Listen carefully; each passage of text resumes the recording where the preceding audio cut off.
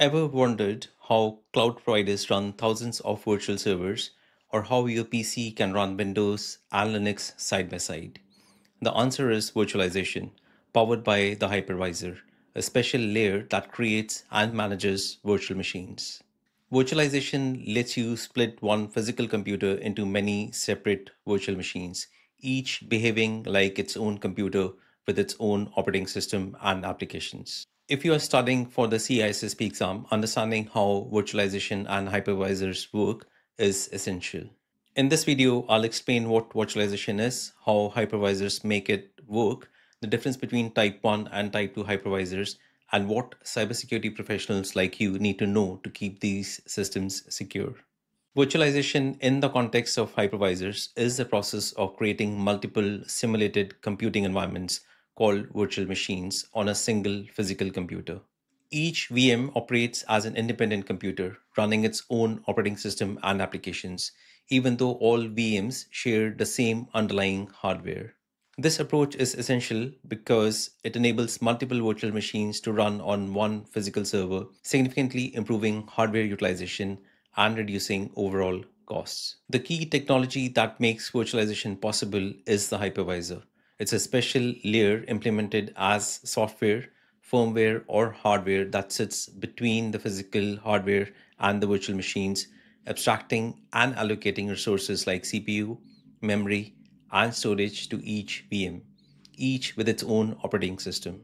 The hypervisor manages all the VMs, making sure they are isolated from each other and efficiently sharing the hardware. This means you can run different operating systems like Linux and Windows side by side on the same server, maximizing hardware use, flexibility, and security. Let's talk about the two main types of hypervisors. A Type 1 hypervisor, also known as a bare metal hypervisor, runs directly on the physical hardware and does not require a traditional operating system underneath. Instead, it acts as the primary layer between the hardware and the virtual machines, providing its own minimal operating environment to manage hardware resources and VMs. This environment may include components sometimes referred to as hypervisor kernel or microkernel, but it is not a general purpose OS. Because it interacts directly with hardware, a Type 1 hypervisor delivers high performance, strong security, and efficient resource management, making it ideal for enterprise and cloud environments. Then is Type 2 hypervisor. It is commonly known as hosted hypervisor. This type runs as an application on top of a conventional operating system like Windows, Mac OS, or Linux. Because it relies on the host OS, a Type 2 hypervisor introduces extra overhead, which can impact performance and security. Examples include VMware Workstation and Oracle VirtualBox. Let's look at how to choose between Type 1 and Type 2 hypervisors based on your needs. Type 1 hypervisors, also called bare metal hypervisors, work best in several important situations. First, they are ideal for production environments where you need systems that perform well and rarely fail. These hypervisors connect directly to the hardware, giving you the best possible speed and reliability. They are essential for cloud environments where service providers need to maximize hardware efficiency while hosting thousands of virtual machines for different customers. Major cloud platforms rely on Type 1 hypervisors for their core infrastructure. Type 1 hypervisors also excel when you need strong security between different virtual machines. This is especially important when you host services for multiple clients on the same hardware. For large organizations managing many virtual machines, Type 1 hypervisors provide the tools needed to control and monitor everything efficiently. If you have servers used only for virtualization, Type 1 hypervisors make the most of this dedicated hardware.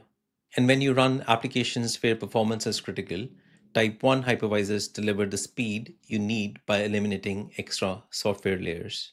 So when is a Type 2 hypervisor the more suitable option. Type 2 hypervisors which run on top of a regular operating system are perfect for learning and testing. If you are new to virtualization, they are much easier to set up and use. Developers often prefer Type 2 hypervisors when they need to test their software on different operating systems without needing separate physical computers.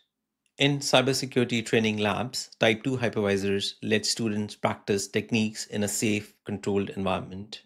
For security professionals analyzing malicious software, Type 2 hypervisors make it easy to create, use, and then delete virtual machines quickly after each analysis. And finally, if you need to run different operating system on your regular work computer, Type 2 hypervisors let you do this without changing your main system. When working with hypervisors, security must be a top priority. As a cybersecurity professional, you need to focus on these key responsibilities. First, set up strong access controls. Protect your hypervisor with multiple security layers, including multi-factor authentication. Use role-based access to make sure only authorized team members can make important changes. Remember, only give administrative access to those who truly need it. Keep your systems updated. Hypervisors are attractive targets for attackers because they control so many resources. Following a regular update schedule helps protect against known security flaws. Don't delay these important updates. Always monitor your systems. Set up tools to watch both your hypervisor and the network traffic between virtual machines. Security monitoring tools can alert you when something unusual happens, helping you respond quickly to possible threats. Separate your networks. Keep management networks apart from virtual machine networks. This simple step prevents security problems from spreading throughout your entire system if one area is compromised. Protect the physical equipment. Secure the rooms where your servers are located. Limit who can access these areas and keep records of who enters. Even the best digital security can be defeated if someone has physical access to your equipment. Make sure virtual machines stay separate. Set clear boundaries between virtual machines and turn off any unnecessary features that might create security gaps. If one virtual machine is compromised, it should not affect others.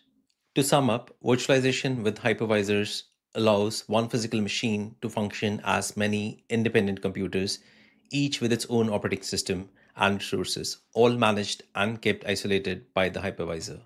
Type 1 hypervisors run directly on hardware for maximum performance and security, while Type 2 hypervisors run on top of an existing OS and are best for small scale or experimental environments. And if you're working in cybersecurity, enforcing strict controls and best practices is essential to keep your virtual environments secure. I hope this overview helps you better understand hypervisors. I'll see you in the next cybersecurity video. Thanks.